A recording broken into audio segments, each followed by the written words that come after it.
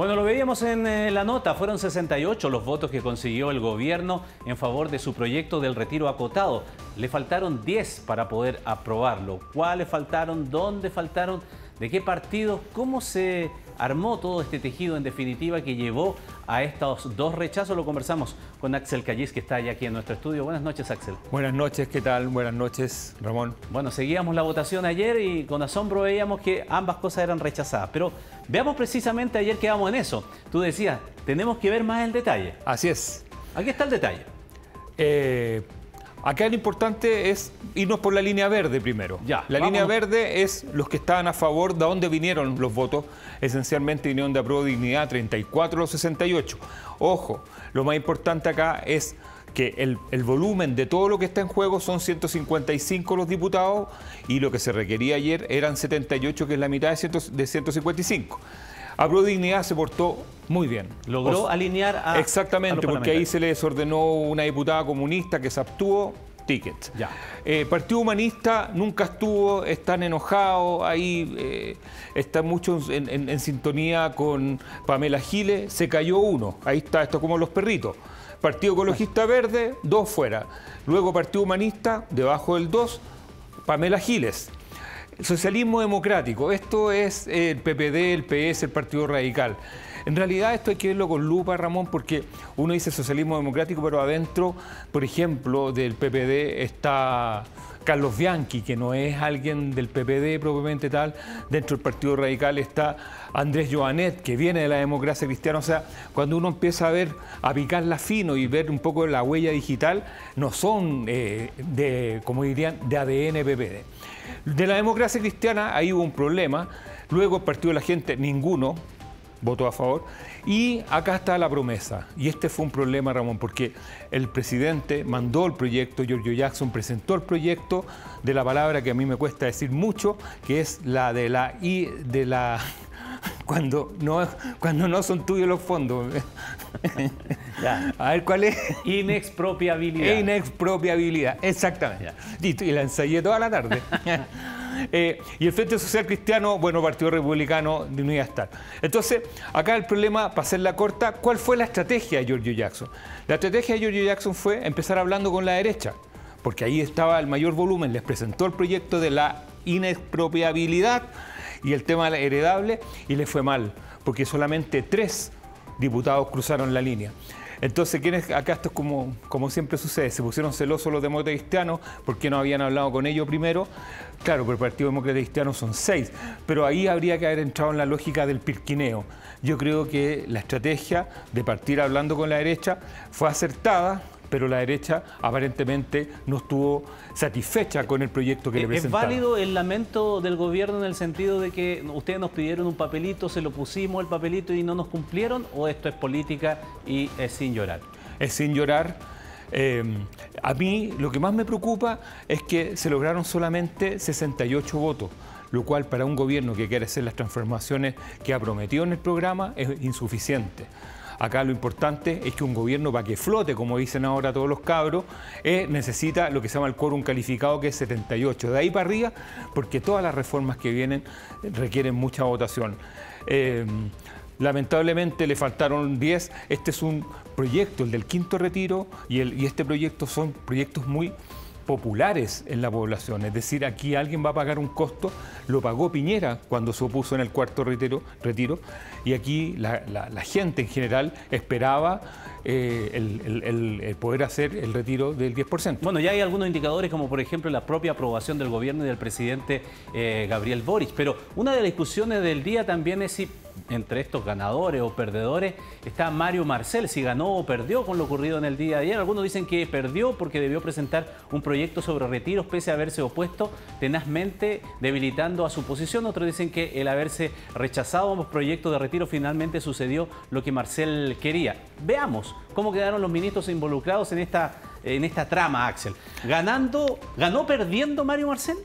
Sí, yo creo que en el fondo... Eh él lo, o sea, no, lo mandó a decir con nadie, él dijo que estaba en contra del retiro, lo dijo eh, durante el gobierno de Piñera, lo dijo en el verano, lo dijo siempre. Pero igual promovió una cosa que... Y no solamente promovió, sino que se fue involucrando. Y yo aquí tengo mi teoría, que es que lo que sucedió es que el gobierno se dio cuenta que el segundo, el segundo proyecto le permitió tener la agenda, esta, esta abstracción que todo el mundo dice, ¿qué es lo que es? Tener el control de lo que estaba sucediendo y Mario Marcel logró tener la agenda, logró empezar a articular con los otros partidos a partir de las propias, llamémosle, atributos que tenía el proyecto y yo creo que en el fondo dijo, respiró tranquilo con respecto al tema inflación, con respecto al tema macroeconómico, pero estaba involucrado. El hecho que haya hablado al final, Ramón, lo dijimos anoche, eh, él hizo un llamado, él trató de persuadir ayer a la bancada para que votaran a favor. Es más, eh, habló del tema del seguro de desempleo, que es algo muy importante y que hoy día lo anunció el presidente, y en ese sentido se notaba que estaba involucrado con el éxito del programa. Ya, vamos rápido con, otro, con otros actores en esto. Giorgio Jackson, estrategia cuestionada, ¿por qué? Porque no consiguió los votos, así de simple. Y uno puede acá tener tres estrategias para no hacerla larga. Pirquinear con los tuyos y lograr los 78, ir por los llamémosle los animales más grandes, la democracia cristiana 8, y fue directamente a la derecha. La derecha le pidió el papel, le pidió el proyecto de ley, el gobierno cumplió y después no estuvieron los votos. O sea, arriesgó y se quedó sin pan ni pedazo y le faltaron los ocho votos. Sigamos con otros ministros, con otros actores. Por ejemplo, la ministra vocera de gobierno Camila Vallejo y Janet Jara. Le colocamos aquí ordenando al PC porque en definitiva sí lo lograron eso, como lo vimos. Absolutamente. Yo creo que ayer el PC, no obstante que fueron los que impulsaron este segundo proyecto, el PC siempre apoyó los retiros, eso es lo primero. Entonces se abstuvo del quinto retiro y dijeron, bueno, vamos con todo en el segundo retiro y lograron ordenar al PC que estaba bien desordenado al principio. Creo que la labor que ha hecho Janet Jara es destacable y bueno, también Camila Vallejo, yo diría que son las que están descollando dentro del comité político. Veamos, sigamos con el comité político porque nos detenemos ahora en Isquia Siches que no estuvo presente. Por eso hay bastantes críticas o reflexiones respecto de qué hizo Isquia Siches o qué no hizo en toda este, esta historia. Ay, Ramón, el ministro de Interior siempre tiene que estar en una votación importante y tiene que estar el ministro del Interior o la ministra del Interior secundada por lo más relevante para un diputado, el subdere, el, subsecretario de Desarrollo Regional y el subsecretario de Prevención del Delito. ¿Por qué? Porque hay muchas relaciones que se pueden generar con los diputados, porque los diputados siempre expresan las necesidades de sus alcaldes. Siempre un diputado te dice o diputada dice, oigan, ¿cuándo va a ir?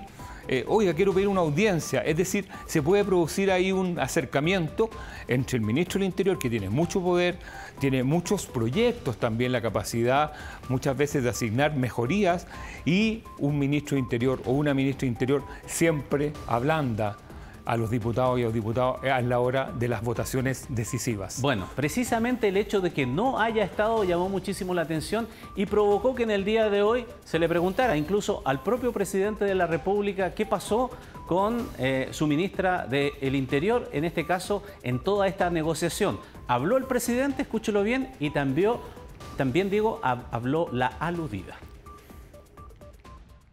El comité político no tiene fisuras estamos actuando de manera conjunta y yo valoro mucho el trabajo que realizaron el ministro Jackson, el ministro Marcel y la ministra Jara, que también compró un rol muy importante. El Ministerio del Interior está enfocado en diversas tareas, en particular la seguridad de los ciudadanos, la reforma de las policías, los aspectos que les corresponden de la situación migratoria en el norte y la situación que tenemos hoy día, de hace mucho tiempo, por cierto, en la región de la Araucanía, los ríos, los lagos.